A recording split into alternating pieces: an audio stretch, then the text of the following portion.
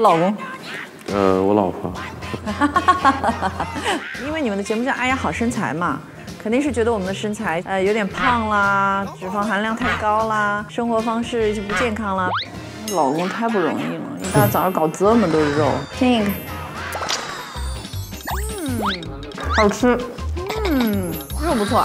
我妈妈说我是我们家里就是从祖宗到现在最胖的一个人。对自己是非常不严格的，反正大开大合吧，饿了就吃，就很随意。所以他可能有时候受我影响，有时候我吃他也会吃。